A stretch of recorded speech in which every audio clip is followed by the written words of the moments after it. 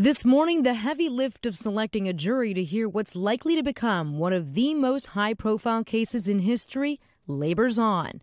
Donald Trump seated in a Manhattan courtroom, coming face to face for the first time with some of the men and women who could ultimately determine his fate. The former president is accused of falsifying his internal business records in order to bury evidence he had an adult film actress paid off just days before the 2016 election, an allegation he denies. Nothing like this has ever happened before. 200 New Yorkers summoned for jury duty, slowly questioned in batches on day one of trial, many raising hands to signal they could not be fair. Those were quickly dismissed. One woman overheard walking out of court saying, I just couldn't do it.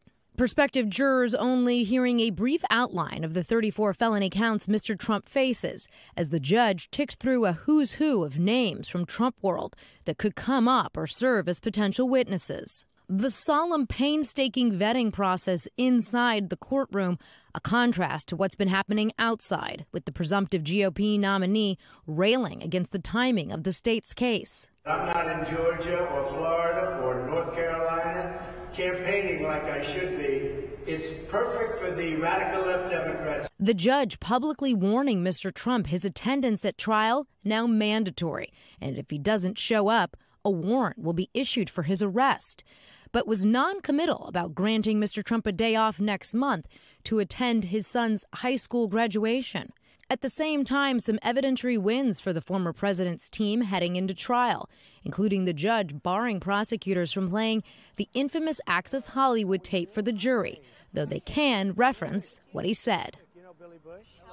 So, Laura, you were there. There's an overflow courtroom. Yes. So, reporters that are covering it who are, can't be in the courtroom can see and witness what's happening inside the courtroom. What did you see? Right. We couldn't be in the courtroom yesterday because it's packed with prospective jurors. Eventually, we'll get in there. But yesterday, we can see the former president on a big jumbo screen. We can see his eyes. There's all this debate about whether he was sleeping or not. We can see his eyes are closed for long stretches. Do we know he's sleeping for sure? No. But there are other moments he's intently looking at the evidence. He's engaged. He's following along with the questionnaire that the jurors are talking about in court. So it's sort of a mixed bag in terms of what his his disposition was like there. But we could not see the actual jurors. We could only hear their voices. And we have a, a few more days, maybe a week or two more of jury selection. And you can see why it's taking so long because so many people are saying, I just can't do it. Hey, thanks for watching. Don't miss the Today Show every weekday at 11 a.m. Eastern, 8 Pacific on our streaming channel, Today All Day. To watch, head to today.com slash all day or click the link right here.